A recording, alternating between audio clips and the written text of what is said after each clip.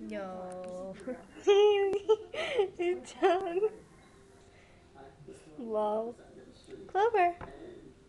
No, it's like diet blog and video blogs.